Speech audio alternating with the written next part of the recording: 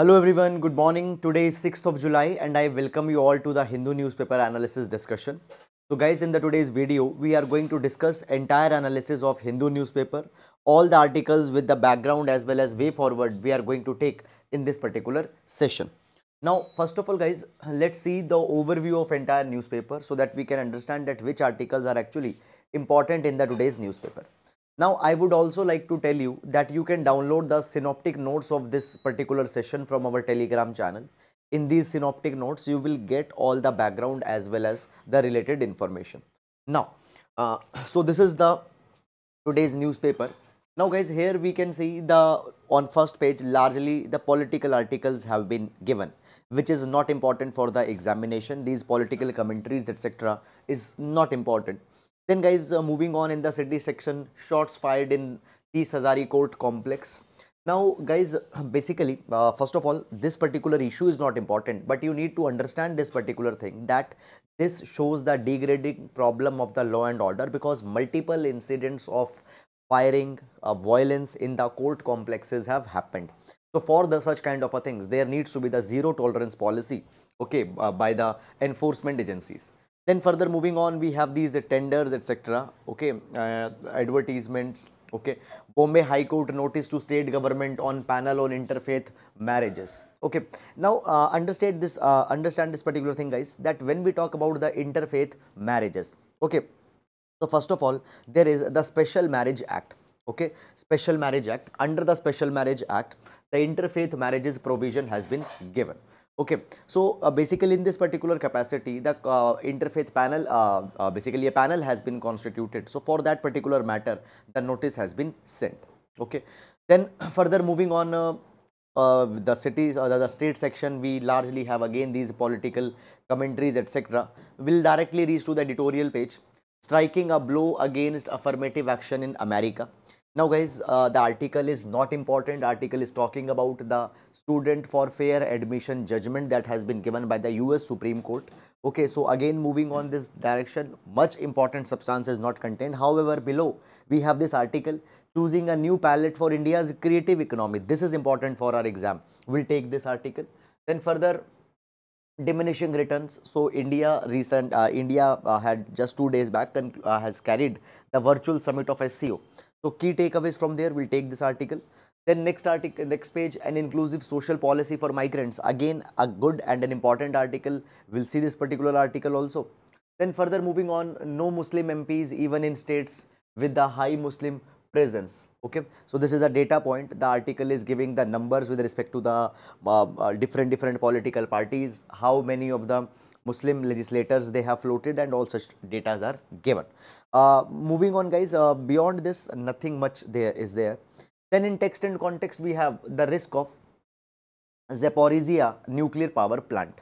Now understand guys one particular issue that as this Russia-Ukraine war is going on, okay, this nuclear power plant has been captured by the Russian authorities and now Russia as well as Ukraine both are saying that the other party wants to sabotage, wants to attack on this nuclear power plant.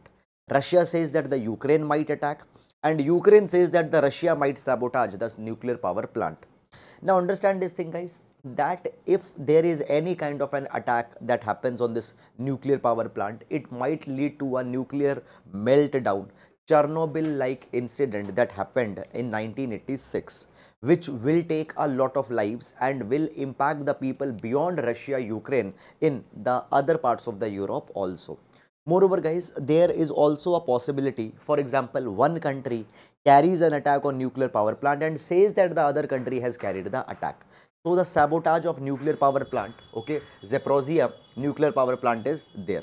Now, one more thing guys is that uh, you are not required to go too much in detail and understand that how many reactors are there, how much fuel they use, how much electricity they produce. That microscopic details for our UPSC exam are not important and they are not asked in the examination. If it would have been a plant in India, then we would have uh, seen it but otherwise not important okay so that is all guys about uh, one thing is that often these uh, questions come on the locations in the news. For example, recently that Zaporozhye nuclear power plant was in news. It is in which country? It is in Ukraine. It is now captured by Russia. Then further moving on, now this is important article, Iran's induction in the Shanghai Cooperation Organization. We'll take this article and why Iran is important in SCO, we'll take this. Then further moving on, so here we have the bibliography article. Okay, so great expectations. Uh, okay, so basically we see this particular thing that often on the great plays, movies, dramas, depictions are made. Okay, so there is a novel, great expectation. So on which that, on that the screenplay is going on.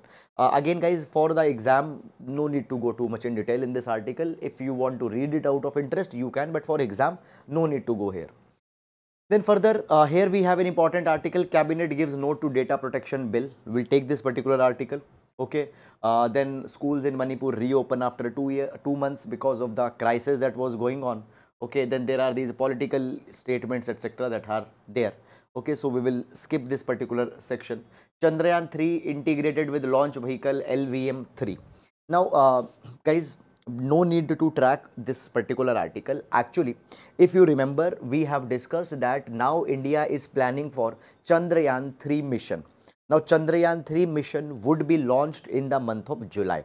So, Chandrayaan 2 that got failed because of the lander and rover. They were not able, the lander was about to make a soft landing on moon, but that landing went in some trouble and then the rover was not able to deploy. So, Chandrayaan 2 was not a success and as Chandrayaan 2 was not a success, to repeat what Chandrayaan 2 was not able to do, Chandrayaan 3 is being launched.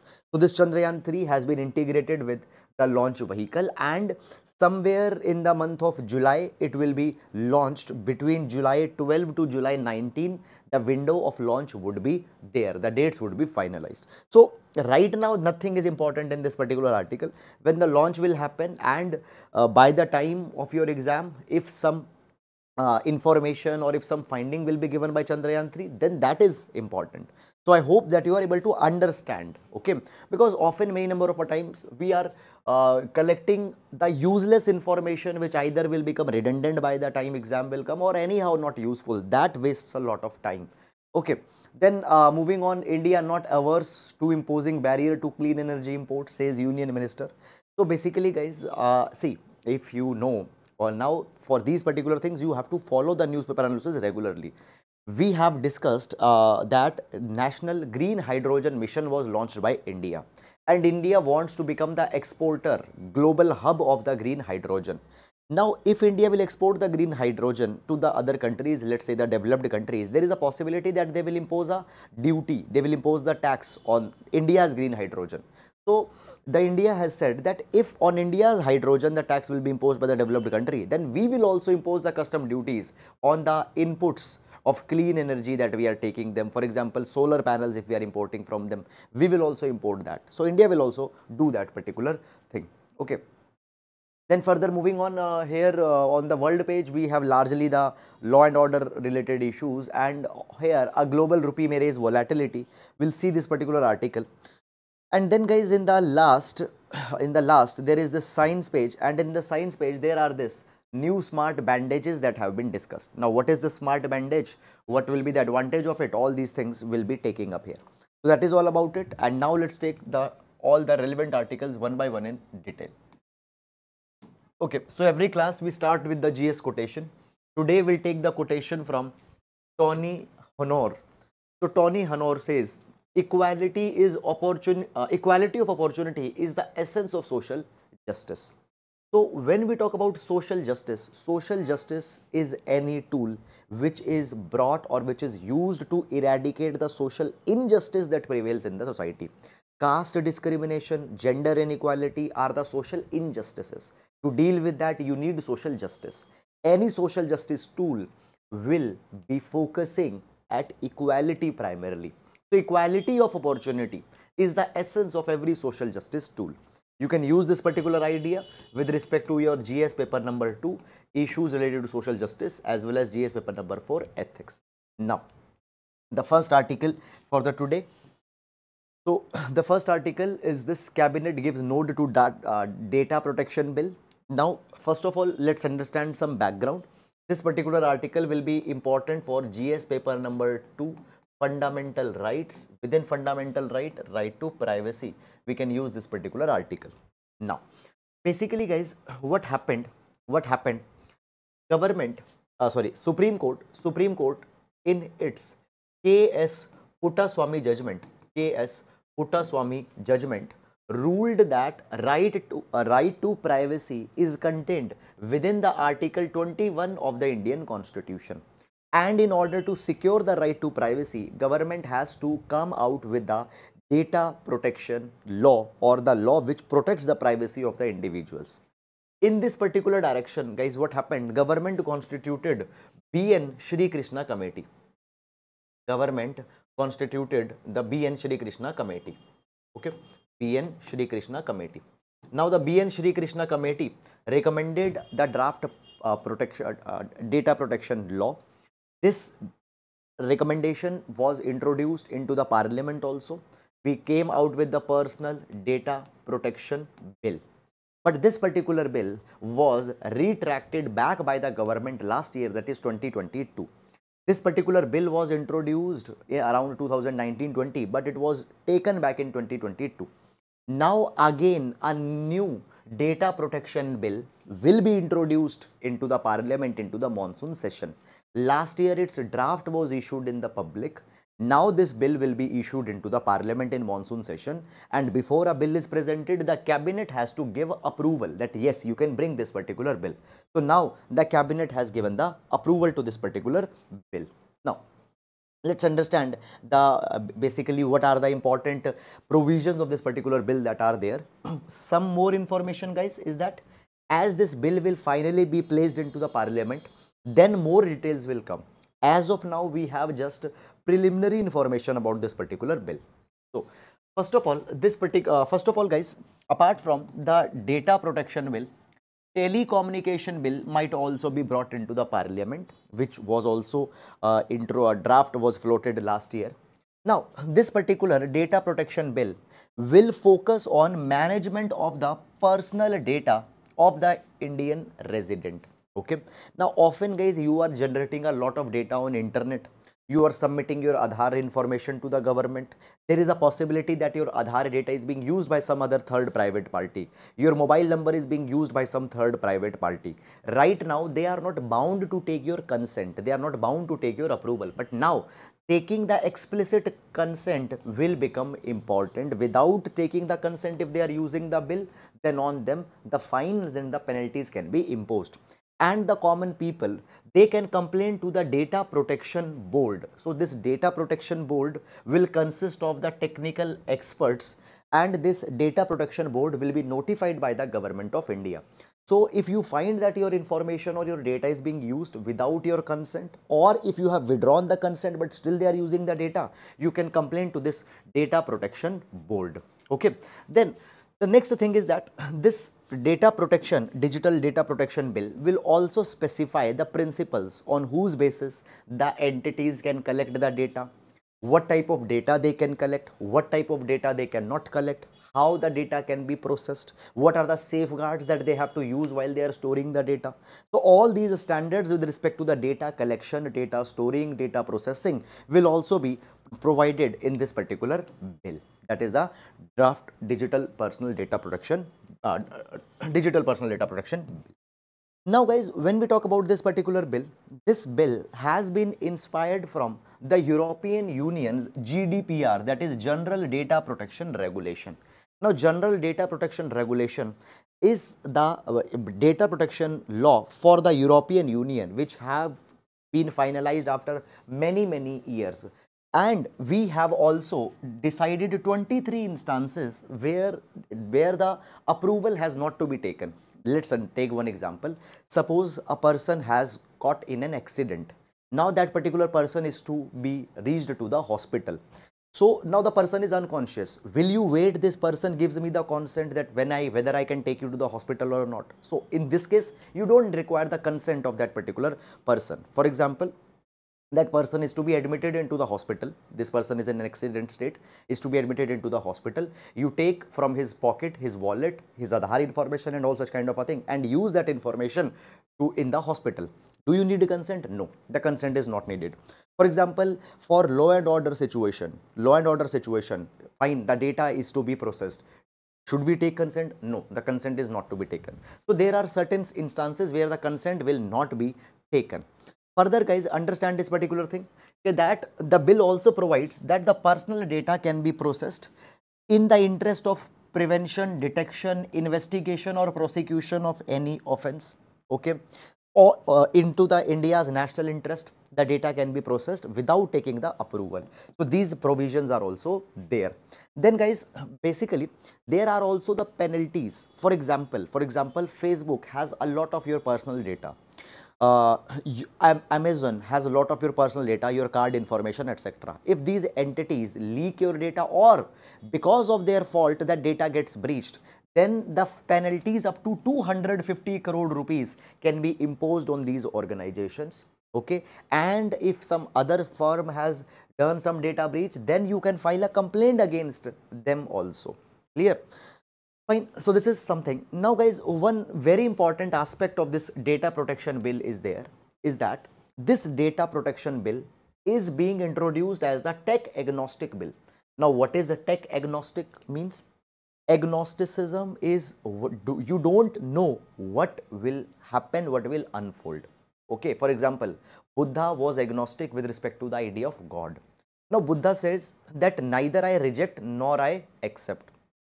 So, tech agnostic is that basically we don't know how the technology will unfold tomorrow. See, we have come out with this chat GPT, generative artificial intelligence, it is black box. We don't know how it will unfold. So, if today we come out with a rigid bill, then that things which will unfold will not be accounted. So this particular bill will be highly flexible to accommodate the new changes that will come as the chat GPT will evolve, artificial intelligence will evolve, all such kind of things. One more thing not mentioned in this particular article, but guys with respect to the data localization, what this bill says. Now data localization, what it is, see, uh, now suppose you are giving your card information to Amazon now, obviously, Amazon will store that particular information. Now, that information right now is stored into the servers, physical servers that are located outside the country. Data localization provides that if you are storing any information, information is stored to be in the physical servers within our country. So, physical servers should be in the home country. That is the data localization. Reserve Bank of India three, four years back came out with this directive that data localization should be implemented in India. Now guys, what is the stand of this bill on the data localization? So bill doesn't enforces the strict data localization. It provides that data could be carried to some other countries, but only to those countries whose list will be notified by the government. Okay. So this is its condition on the data localization. Then guys, one criticism of this particular bill has also come with respect to the RTI. So basically, this particular bill is also bringing an amendment into the RTI Act of 2005. Now, basically the bill provides this particular thing that we will not give the information, okay, we will not give any personal information, okay, from any government department will not give any personal information. Now, you see this thing, under RTI, you can ask information from the public authorities. But data protection bill is talking about say, not sharing the information so it this change will be brought into the RTI that government will not give any personal information under the RTI. RTI activists say that it will dilute the RTI there. Government selectively will withhold the information saying that it is a personal information. So government will get the unfettered power. So this is all the issues that have come in this particular direction. Now moving to the next article, India, uh, Iran's induction in the Shanghai Cooperation Organization Iran's induction in SCO. So uh, basically guys, uh, if you have seen yesterday's newspaper analysis, yesterday also we have taken this particular issue. So this issue will see with respect to GS paper number 2 international affairs, GS paper number 2 international affairs. Now, uh, one thing uh, guys here, see this, this particular thing, that uh, 2023, 2023 India is the chair of G20. Also, India has chaired the SCO, Shanghai Cooperation Organization. In this particular direction, guys, there are two articles that have come in the today's newspaper. This is one article and one article is from the editorial section also. Now, first of all, let's take some of the basic information. When we talk about the SCO, SCO was initially formed in 1996, 1996 as the Shanghai Five. So these were those basically it was to bring the cooperation between the countries which were earlier the part of the USSR.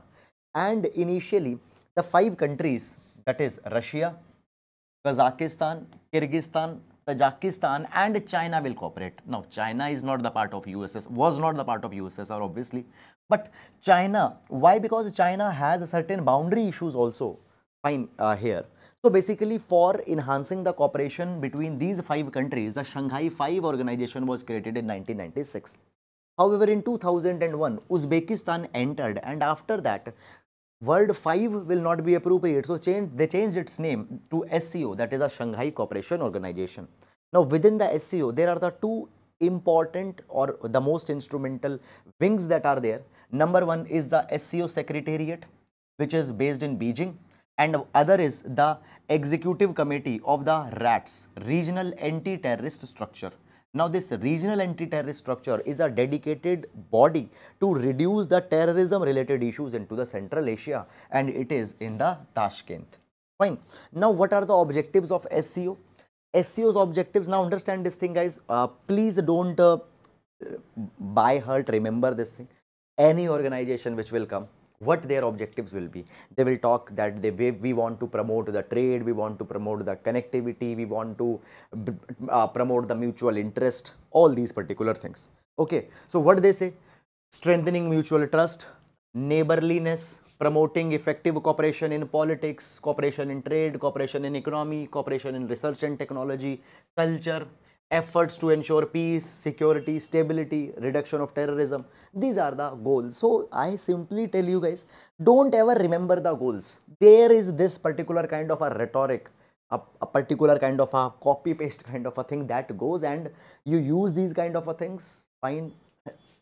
Uh, fine, uh, nobody can say that it is not the objective. It will always be the objective. Fine. Now moving on.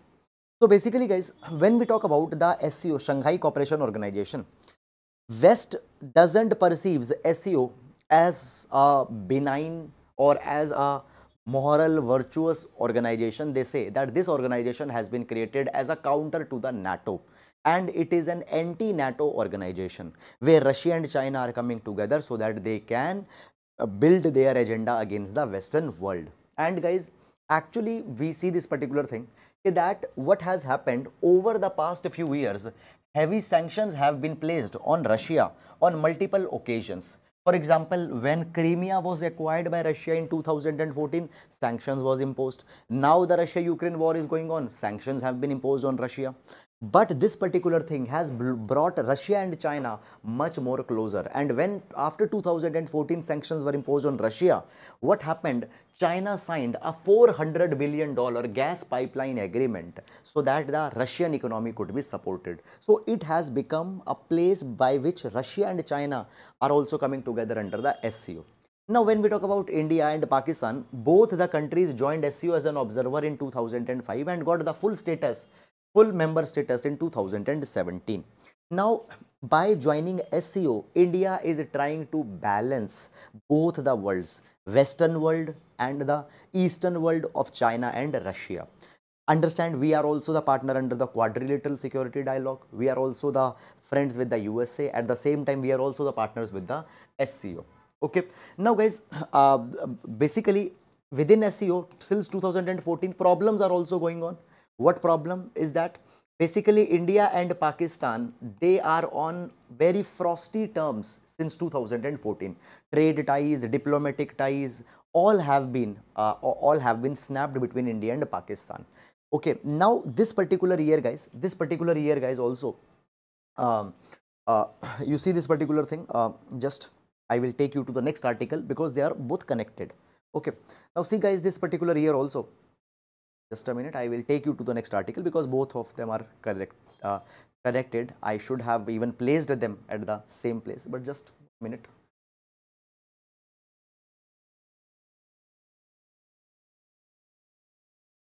Yes. Yes. So here we have one more article also guys talking about the SCO meet So I told you that both India and Russia, uh, both India and Pakistan became the members of SCO in 2017. But since then, the Pakistan and India relations are not good and this thing is being reflected in the SCO also. For example, I told you that 2023 India has to host the SCO summit. But what happened guys? First of all, the uh, first of all India postponed the SCO summit. Why? Because of the because of the visit of the Indian Prime Minister to the USA. And then that particular summit, which was earlier to be conducted in physical format, got converted into the virtual format. Why? because because bad relations with Pakistan and bad relations with the China that we are right now having. If there would have been physical meet, both would have come to India. Even the Russian president would have come to India. But right now, West is very much against the Russia. So it would not have created good optics. So India first postponed and then converted into the virtual summit. So understand this particular thing guys that when we talk about the India, India is trying to balance the West as well as the Russia China simultaneously. But somewhere virtual summit is showing this particular thing that India has given less importance to SCO as per this particular article as per this particular article. Okay. Now guys uh, further let's come back to our original article that we were discussing. So yes the article was that the article was that about the SCO. So now when we talk about guys the SCO, so though between India and Pakistan relations are not good, but still the countries are trying to ensure that they are joining the SCOs, all the three council meets, the head of the state meet, head of government, council of foreign ministers, in all of them they are participating. Now coming to the core question, this year Iran has joined SCO. This year Iran has joined SCO. And as Iran has joined the SCO, what will be the benefits by joining Iran or why it matters? Now, and uh, guys, after the joining of Iran, SCO has become a nine member organization. Now, why Iran is important? Guys, if you know, India has already constructed the Chabahar port in Iran. Okay. So basically guys, you see this particular thing that Central Asia is an important region where India wants to enhance the trade. But in order to reach the Central Asia, either you can use Pakistan or you can use Afghanistan's route. Now direct boundary with the Afghanistan is right now restricted because of the Pakistan occupied Kashmir and Pakistan has denied us the transit, transit to reach, reach the Central Asia. So land based access is now restricted. So what is the option? Option is that we will reach to Iran, we will reach to Iran Chabahar port from there, we might enter to the Afghanistan and from there we'll go to the Central Asia. This is the route that we now have to reach to Central Asia. This is now the route that we have to reach to the Central Asia. Is it clear or not? So, therefore, we have constructed the Chabahar port in Iran, which is very much important for the connectivity. See, there is one question, SCO established date, dear, these things are not at all important for exam. Please don't read these things even you will be mixing these dates by the time the exam will come. So, which, which date it got established, etc. not at all important. Okay, so India has constructed this port, Chabahar port in Iran. At the same time, guys, India is also participating in international north-south transport corridor. Now, what is this north-south transport corridor? So, basically, Russia to Iran, all the regions in between they will be connected. Russia to Iran would be connected through this international north-south transport corridor. So basically guys, Iran will be a culmination point. Through Iran, we can access the international north-south transport corridor and can reach to Russia. And through Iran, by the Chabahar port, we can reach to the Central Asia. So Iran is very much connect important for the connectivity of India. Okay, and here India will be able to cooperate with the Iran. Is it clear or not? Then guys, the next thing that comes here is that, uh, so we will be able to avoid the Pakistan, that is the benefit. Then the next thing is that guys, the Central Asian countries, many of them are landlocked and many of them are the double, uh, and one of them, one of them is double landlocked. Double landlocked country is that uh, a country which is landlocked and the neighbor is also landlocked, that is a double landlocked country. So in the Central Asia, countries, they don't have access to the ports. So for them, Iran is also very much important for the connectivity. And then guys, Iran is a historic partner of India also and therefore bringing Iran, bringing Iran in the SCO will give one more platform where India can connect with the Iran and through, now see Iran has also been the victim of the terrorism in the past. So as Iran has been victim of terrorism, India has also been the victim of terrorism. Both can also talk about the terrorism and the safe terror heavens that are being provided by the Pakistan as well as Afghanistan also. Okay, so this is all about it. I hope guys that you have understood it. Now moving on to the next article. Uh, however, one more issue is there. As Iran has joined the SCO, USA has become even more irritated because of the bad relations between the Iran and USA. Belarus is also expected to join and with the Belarus also the relations are not very much good. So it will be it will be impacted laterwards next year. Then the next article the new smart bandage raises the bar for treating chronic wounds. Now this particular article will see with respect to GS paper number 3 science and technology prelims examination science and technology as well as for GS paper number 2 health also will take this particular article. Now before going in this particular article, let me tell you some basic information. Guys, suppose you got hurt, okay, you got a bruise mark, okay, you got a cut on your skin. Now, automatically your body will heal that particular wound. Okay, there will be a clot that will develop, then the different, different type of cells, different, different type of biological processes would happen in your body and a new skin, new layer of skin will come. And after a few months, you will find that, that your skin is entirely new it will look like that wound never happened.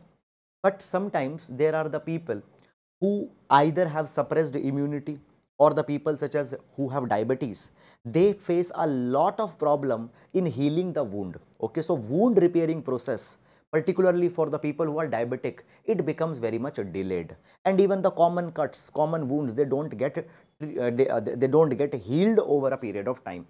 So in order to help these people, this smart bandage can help. So basically guys, what has happened? Recently, a study was published into the Science Advances which provides that now the scientists are working on the smart bandages which will be wearable, wireless, mechanically flexible kind of band-aids. Okay. For example, guys, you can see on in the picture here, this is the photograph of a smart bandage. So like a band-aid, okay like a band-aid it is a kind of a sticker kind of a thing. But it has many of these biosensors electrodes which will help in healing faster which will help in fast healing.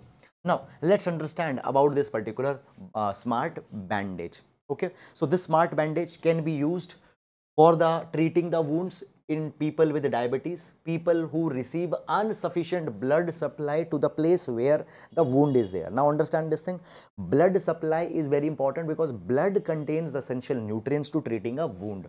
If there is a nerve damage, immune system dysfunction is there, where so in those people these bandages will be very much important. Now how this bandage will work? So basically guys there will be a soft stretchable polymer so polymer is a compound. So that banded there will be soft stretchy polymer which will be affixed on the a particular wound. In that there will be biosensors. Now these biosensors will monitor the biomarkers in the wound. Okay, they these biosensors in the real time will see that what is the condition of the wound, how much percentage the wound has been treated, which type of biological process has started, and that particular information will be given in the real time to the doctors so that the doctors can modify the treatment. They can modify the medicine. Now then guys basically the data that will be collected by these biosensors it will be transmitted to the printed circuit board printed circuit board. That printed circuit board will relay that particular information wirelessly to the smartphone or the tablet which will be reviewed by the physician and on the basis of that information how much progress has been done different different drugs will be released in that particular wound through the hydrogel layer through the hydrogel layer. So basically in that sticker there will be a hydrogel layer in which the drug will be infused, infused. At the different different stages different different dosages different different strength and different different type of drugs will be used which will heal that particular wound more wound more effectively Moreover, this particular bandage will also uh, encourage the tissue regrowth in that particular region. So, three important things are there. Number one, a stretchable layer. In that layer, biosensors which will give the information with respect to the progress and then there will be the drug delivery through the hydrogel. Fine. So, these are the three components. Okay. Now, the problem, now this is a very good thing, but the problem is that how it will be accessible to the poor people, people who are in the socio-economic, lower socio-economic strata. Now guys, when we see in the government hospitals particularly, a general surgeon might see 10 patient, 3 to 4 patient will be the ones who have the chronic wounds. Many of them have diabetes, their wounds don't heal automatically. Okay, 77 million, 25% of the, now we have 77 million diabetic adults in India and these diabetic adults they often develop diabetic foot ulcer they develop certain wounds and often they are not treatable okay?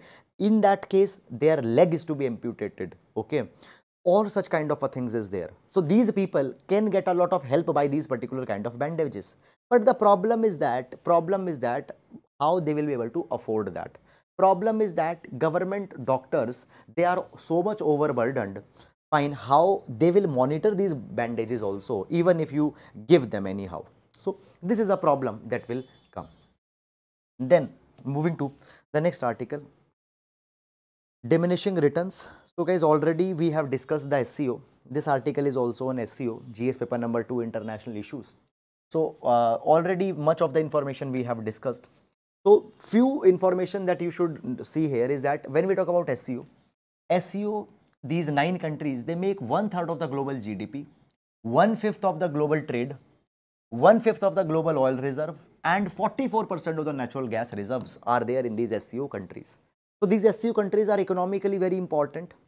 This year as we have joined SCO, guys one thing I will recommend you, please watch the yesterday's newspaper also. Okay, please uh, see the yesterday's newspaper also because there we have discussed the key takeaways from the SCO. So this year we have come out with the multi-alignment and strategic autonomy. Okay. Now uh, basically yes, when India, uh, when we joined the SCO, India stated that the multi-alignment is the goal of India because we want to balance West also, we also balance with the Russia and US also, Russia and China also. This also shows the strategic autonomy of India. Strategic autonomy means that India will not have any permanent friend and will not have any permanent enemies. Will choose the friends, uh, will choose the friends on the basis of the requirement. So we are balancing the Quad, which is the grouping of US, Japan, and Australia, and at the same time we are balancing the SCO. But the article says that this particular year we are not able to balance it very properly because India was the chair of SCO but we con con converted into the virtual format. So it shows that we have given less important.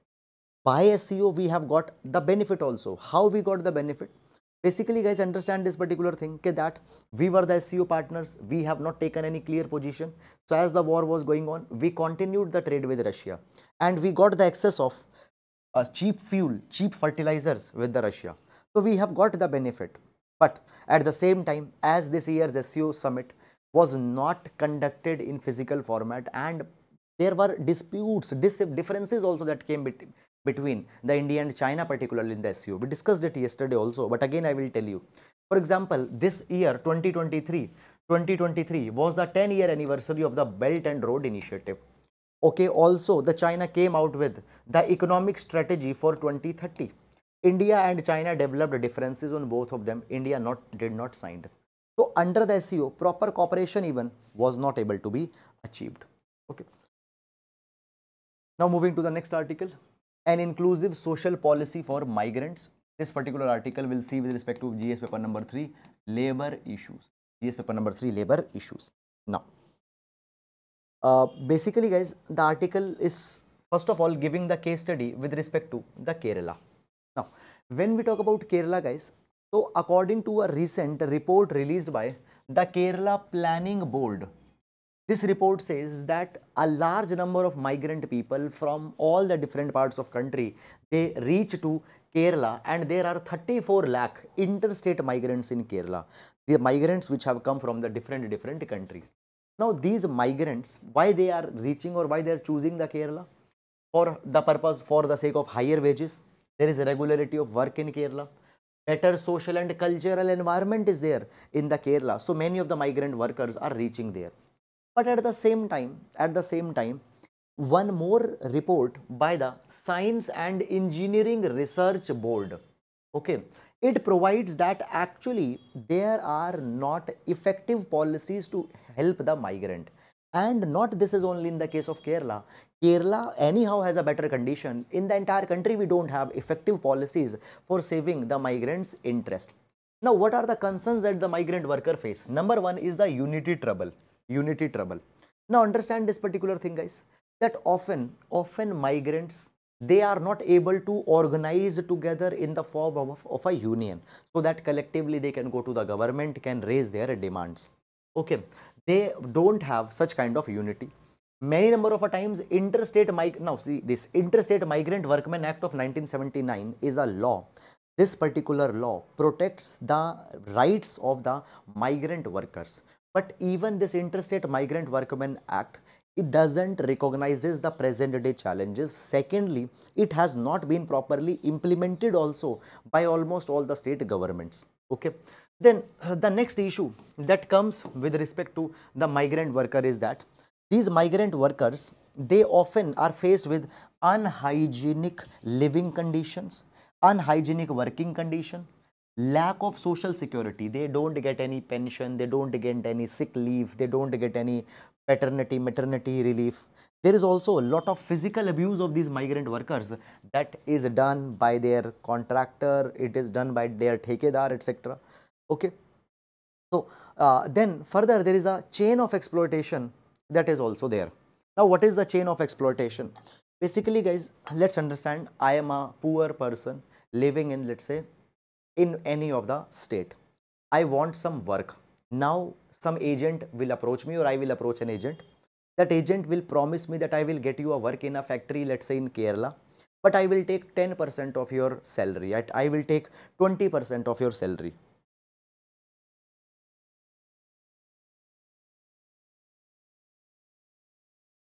So many times what happens?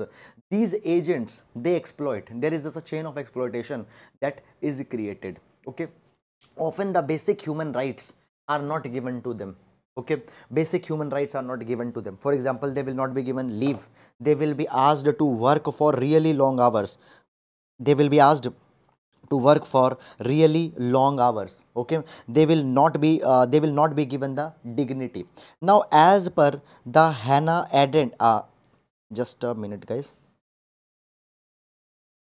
Now here if you see the hannah arendt so hannah arendt said that every individual deserves the inherent dignity of humanity every person should be treated with the respect. But often such kind of human dignity is not given to these migrant workers and we often witness these particular things in day to day life. So we need to have the system of social justice. So a way forward has been suggested and this is the most important part of this particular article. What is the way forward? How the condition of the workers can be improved? Number 1 number 1 First of all, there should be the robust data collection. Now, what is the data collection? Rather than the usual numerical data collection, for example, the governments collect the data, for example, 34 lakh migrant worker in Kerala. Okay, this data. Data 34 lakh migrant worker in Kerala, 5 lakh from Uttar Pradesh, 5 lakh from Bihar, 5 lakh from Madhya Pradesh, 5 lakh from Rajasthan, like this. This is just a numerical data. It is not giving us the much information. Rather than this numerical data for the entire state, we need to have theme-wise data at the panchayat level. Okay, panchayat-wise is a theme level data. For example, in every panchayat, how many migrant worker, what is their socio-economic condition, what caste they belong, what occupation they do, what is the average income that they are earning, how many family members they have. So, a theme based data needs to be collected because first if you don't have data, you cannot work on any type of welfare. Then second thing is that basically government needs to give them the health, employment, right to cultural life. But these right need, but, but, but they are to be given on, but all these things are to be given to the right based principle. For example, MGNREGA is a right based, it, it, it, MGNREGA is a right. If you don't get work, government will give you the reimbursement. Okay. The point is that health, employment, cultural lives, rights needs to be given as a matter of right. Government should not be able to refute them back. Okay, they should be justiciable in the court. Then the third issue that comes here in this particular direction is that uh, the third issue that comes in this particular direction is that basically there also needs to be a collaboration with the original ori, origin, origin state. Now let's say a person from Uttar Pradesh is going to Kerala. Uttar Pradesh is an origin state. So origin state should also be taken in account when the destination is state is coming out with any policy for the migrant workers. Then there is a promotion of awareness. People, migrants even, they don't know about their own rights. Even you give them health right, education right, they don't know. So their awareness needs to be there. Then guys, there also needs similar to global effort, cultural exchange, community engagement of the tri of the migrant people. See, a person, let's say from Bihar, is going to the Kerala. Now the cul in the Kerala, he all basically the culture of Kerala will be different than the culture of Bihar. So basically the festivals that he celebrated in Bihar, he want to celebrate them in Kerala also. He want to connect with the people of his own culture. So for that, community engagement needs to be there. We need to ensure that how the social integration of migrant worker in the local community is being done. The people, let's say from Bihar, when they're going to Karnataka, Kerala, how they will be integrated in that local culture. For that arrangement needs to be there. Then there also needs to be the multi-stakeholder policy. Whenever you are coming out with any policy for the migrant worker, migrant, employer, government, okay, labor unions, all needs to be consulted. And we also need to, to refer to the uh, instruments like, like a global compact on migration to ensure all the rights to the migrant people are being given. That is all guys about it. And now moving to the next article. We'll choose a new palette for India's creative economy. Now this particular article we'll see guys with respect to GS paper number 3 okay issues related to creative economy issues related to the creative economy now what this article is and what is creative economy understand this thing guys that there are so many of the artisans artists which are making creative artworks. Somebody is making kalamkari somebody is making some kind of patachitra art somebody is making some another kind of an art. In this particular in this particular thing a lot of employment is generated. Fine. There will be a lot of value of these artworks. They will be exported into the other countries. Okay even the artisans family depend on them so basically the creative economy is a very important component now guys understand this particular thing that when we talk about the context of india so digital platforms, online platforms, they have given the platform to many of the artists. But actually the artisans who are performing the traditional arts, they don't have proper market access still how to market their products. Digital divide, they don't know how to use internet, how to use the uh, internet platforms. Okay. Now, there is a very big problem. First of all, we find this particular thing guys, that the artist fine first of all government uh, first of all guys for the now many of the artists they are practicing such arts which are actually dying okay there is no industry no organized place where these particular artists can get a job they have to be a kind of a entrepreneur kind of things only. I am making some artwork i have to make it i have to sell it. There is no industry which will employ me. So jobs are not there economic growth is not there okay? Fine all these things are not there in this particular artwork. Secondly guys secondly guys when we talk about this creative economy this creative economy if we tap them it can fuel all these particular things simultaneously. How? First of all basically guys for art sector art sector if we tap them it can create a lot of jobs. It can create a lot of jobs okay? Economic growth tourism. For example many people are going to a particular place because of a particular handloom that is made at that place. They go to a particular place because of a particular painting that is made at that place. They go, they learn the art, they see the artisan's way of life. It can promote tourism. It can promote the export.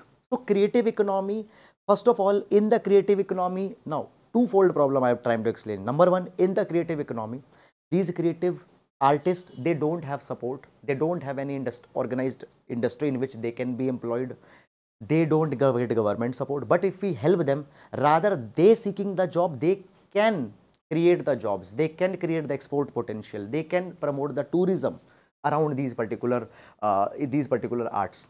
Now recently what has happened, UNESCO World Conference, UNESCO World Conference on Cultural Policies and uh, Sustainable Development was organized, that is the MONDIACULT 2022 and it has discussed the issues with respect to the artist. Now, first of all, guys, when we talk about the artist, government support to these artists has been very much less. Cultural institutions, government institutions, financial supports, etc. are often not given to the artist. Now, you see this particular thing that many financial assistance program are being driven by the government, but often there is a lack of transparency. Who will get the financial assistance from the government? how they will get the assistance. There is no systemic or rotational mechanism to provide the assistance. Selection process. See, government comes out with many schemes and give support, but awareness, selection process, how much support will be given, transparency, all these issues are there. Then next, when we talk about the traditional art, there is also the crime that is going on, fake copies of the art, okay, fake copies of the art, mass produced copies of the art if let's say one artist in one of a rural village makes a painting their copyrights are not secured. Copyright infringement is going on. All these issues are there. So therefore guys how to help these creative artists? So what is a workable solution in this capacity in this direction? So we need to create the capacity building centers. Capacity building centers. Now the capacity building centers will be the dedicated units into the different different parts of the country which will create ecosystem of innovative technologies. They will bring the artists, they will bring the startups. Startups will help these artists how they can get the market. They will be given the technologies what they need. They will be given the skill development. Okay, all the business know-how, infrastructural support will be given to them okay investor support if it is needed to these artists that investor support will be given to them they will also be given the networks as for example Suppose I am an artist, I am making a kind of a pen painting. I want to sell it in Europe. I don't have connections. I don't know the process. All these supports will be given by these capacity building centers. Okay. So this is something that will happen. It will also help in knowledge sharing, economic empowerment, all these particular kind of things. Then the next thing is that guys, basically in India, there is also the problem. Let's see this particular thing. What has happened in the Western countries? the private private companies they have identified some of the artworks and have created a fashion brand account, fashion brand around them. In india that particular thing has not evolved that much. So there are the industry gaps which can be filled by the which can be filled by the private players. Okay. Uh, then guys the next thing that is there the next thing that is there basically these facilitation centers will also be focusing on this, uh, this, facilitation center will also be focusing on shedding lights on the global uh, sh uh, shedding lights on the emerging trends at a global level which can also be tapped by our indigenous artists and how they can take the advantage of that. So these are all the solutions particularly creating the facilitation center to empower them. Okay, that is all about it. And now moving to the next article. So uh, here we have an article, a global rupee may raise volatility. Now guys, first of all, uh, this article will see with respect to the issues related to Indian economy. Now first of all, you need to know some basic things.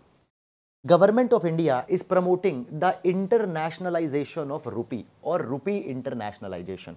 What is rupee internationalization? We want that as right now the dollar is the acceptable currency in the world, India becomes the acceptable currency. The international settlements, should happen in the terms of the rupee. Okay, this is the government's goal. But in this direction, India Interdepartmental Group has submitted a report and they said that it will increase the volatility of rupee in the international market. Now how? Fine, very simple logic, understand this thing. Right now guys, you see this particular thing that whenever the price of rupee in the front of dollar goes down, what happens reserve bank of india will interfere okay in between okay now guys understand this thing. Price of any currency depends on the demand and supply. If demand is more of a particular currency the price of that currency will go up. If the demand is less and supply is more the price of that currency will go down. Okay. Now guys understand this particular thing. That if we want to ensure second one more one more issue i'll tell you. Right now guys we control how much money or how much rupee should be there into the market for inflation also we control that particular thing. Now if india will become the international currency then india has to be a currency. The uh, then the issue that comes here is that then the issue that comes here is that then there will be the obligation of our, on our country to supply the currency to meet the global demand. Let's say america let's say let's uh, let's say guys the iran or uh, you take example let's say the malaysia is doing some trade with the vietnam and they say we do will do this trade in the terms of rupee now they need rupee for that particular thing india the supply of rupee might be not that much that we can cater to us as well as we can cater to the international demand. Okay, so what will happen? There will be an obligation on a country to supply its currency to meet the global demand and it might come in conflict with the domestic monetary policy. Right now, domestically, we might be following the tight monetary policy or any other kind of a monetary policy. So, if you have a domestic monetary policy, then that domestic monetary policy might come in conflict when you have to supply the money to the other countries also. It is called as the Triffin dilemma. However, the benefits will also come, benefits also will come with that particular thing. But at the same time, there will be some concerns that are there. Okay. So, this is guys in very simple. Uh, however, guys, uh, uh, uh this is about this particular thing. However, right now, if I tell you internationalization of rupee, it is a very long road to take. Okay. Uh, then the main practice question for today. Despite a range of welfare, health and literacy schemes for migrant workers, India lacks a broader policy that addresses social justice for the community. Comment 10 marker question for GS paper number 3. That is all guys about it and with this we come to an end to the today's session. Thank you so much guys.